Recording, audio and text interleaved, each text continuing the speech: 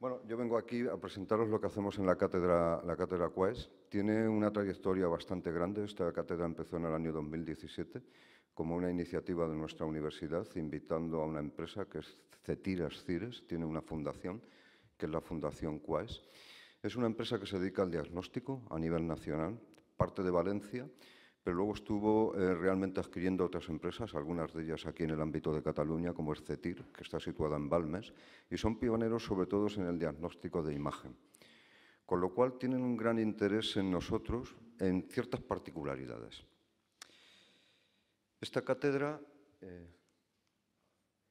tiene unos objetivos que son realmente hacer un punto de encuentro hacer un punto de encuentro entre distintos actores sociales. Los investigadores básicos, los clínicos, los pacientes, los familiares de los pacientes, estudiantes de nuestros grados y de otros, y la sociedad en general. Este es el interés que tiene. Y en base a eso hemos ido desarrollando una serie de actividades que os voy a contar. Sí que os comento ya de entrada que para mí es una de las experiencias más gratificantes. ¿Por qué?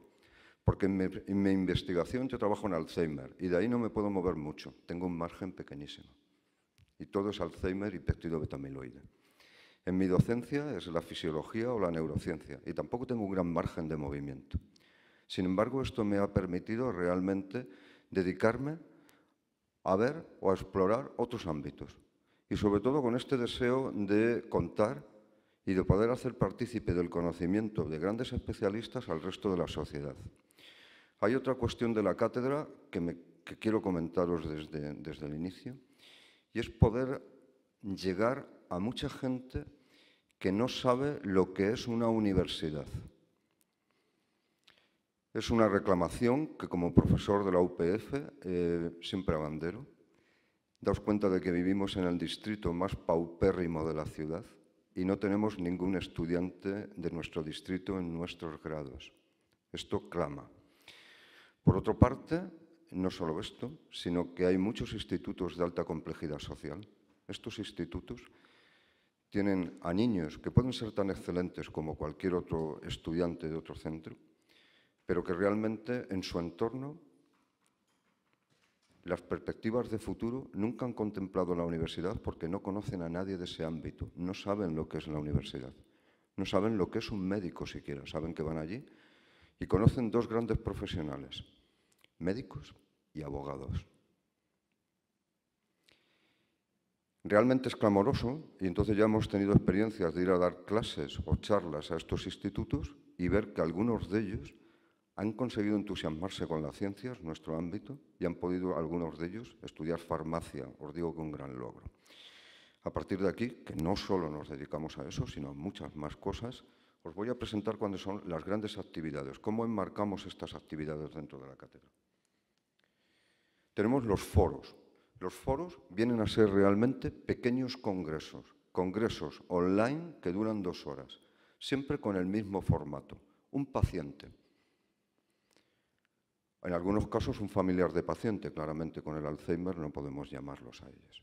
Ellos presentan el foro, son la primera presentación y enmarcan muy bien en el ámbito social de lo que estamos hablando. No estamos hablando solo de proteínas, de papers, de Q1, Estamos hablando de gente que lo está pasando realmente mal.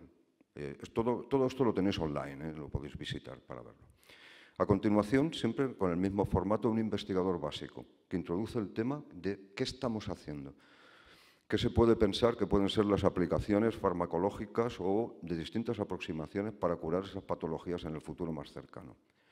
A continuación, un especialista en diagnóstico. ¿Cómo están los diagnósticos? Que es uno de los grandes problemas. Fijaros, Alzheimer, a día de hoy, nadie puede diagnosticarlo.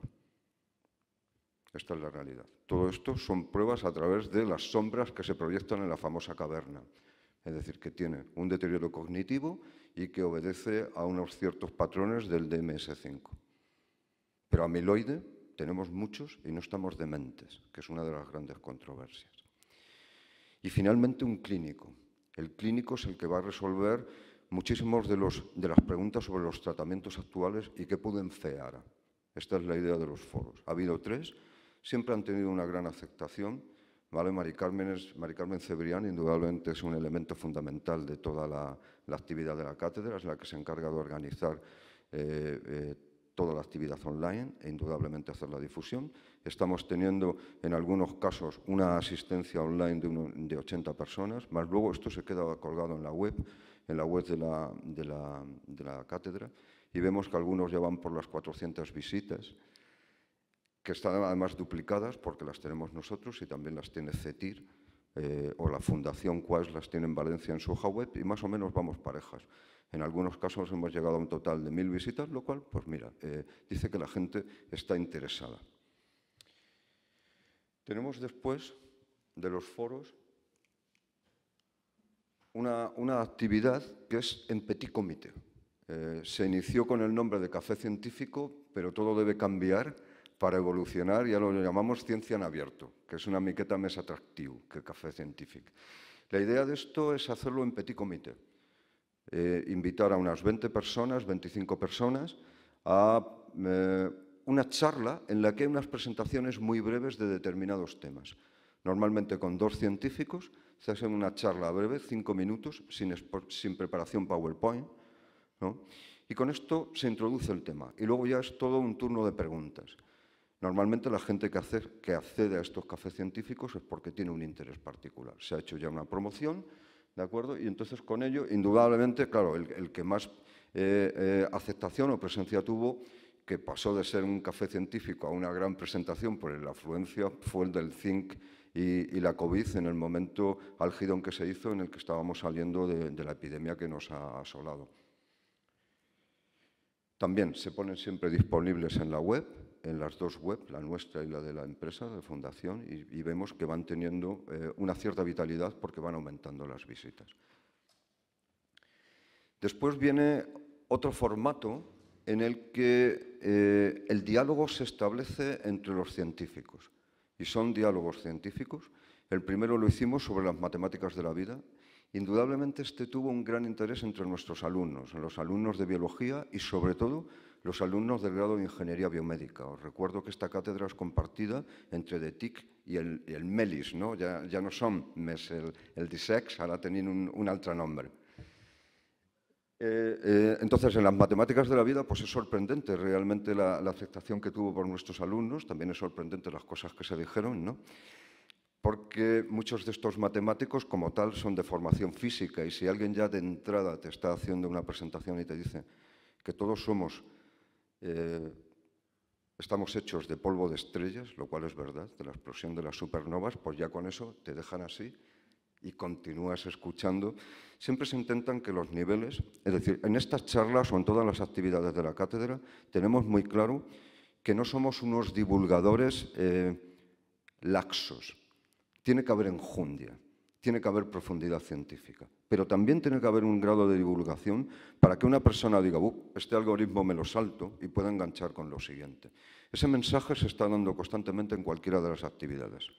No podemos perder al público general, pero también tenemos que atraer a gente que sea muy especialista y que puedan llegar a esto. Mantener ese equilibrio, de eso me encargo yo, avisando a todos, de decirle qué tipo de perfil vamos a querer que esté consolidado en la cátedra.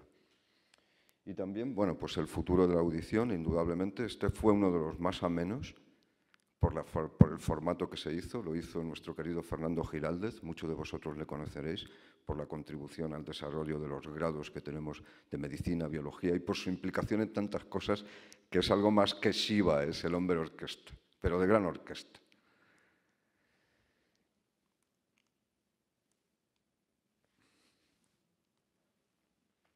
Y luego las mesas redondas. En las mesas redondas lo que pretendemos es que haya debate.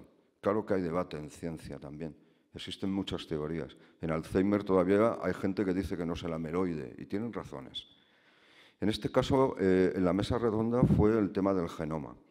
El genoma además trasciende a, muchas cuestiones sociales y, el tema de partida simplemente os lo explico así.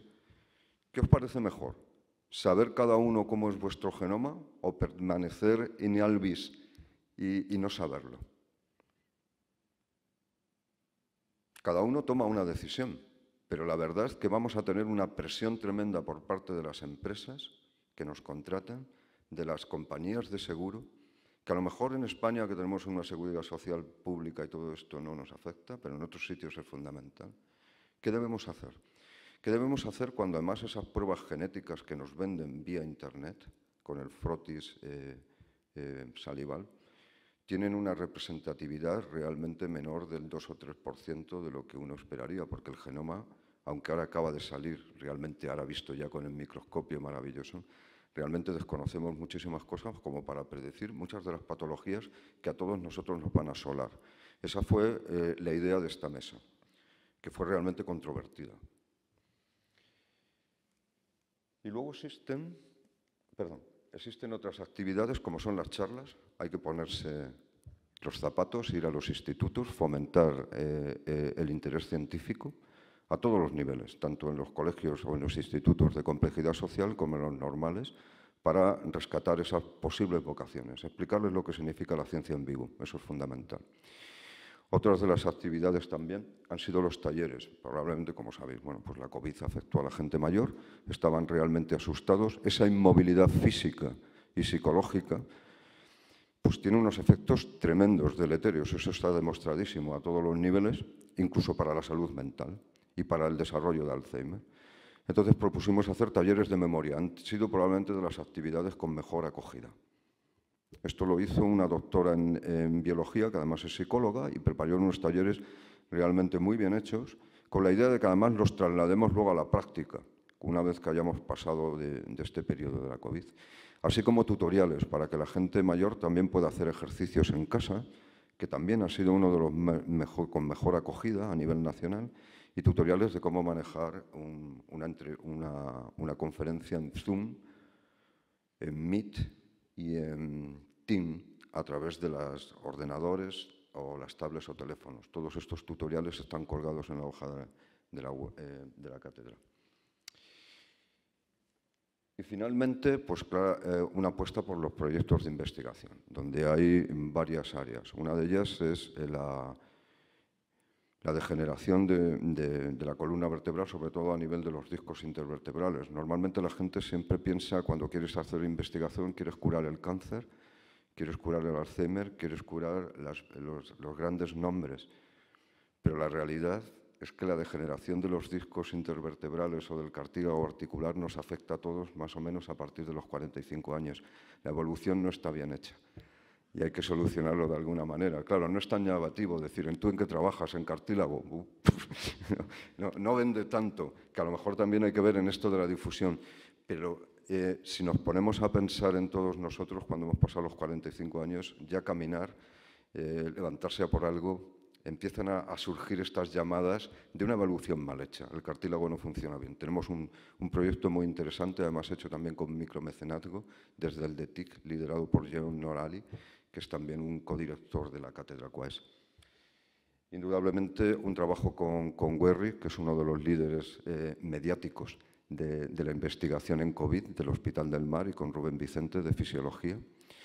Y también unos trabajos en colaboración con grupos internacionales a nivel de cómo los daños vasculares pueden influir en el deterioro cognitivo leve, que es la puerta de entrada al Alzheimer. Hay una clara relación entre daño vascular, deterioro cognitivo y Alzheimer, pero la verdad es que no sabemos por qué.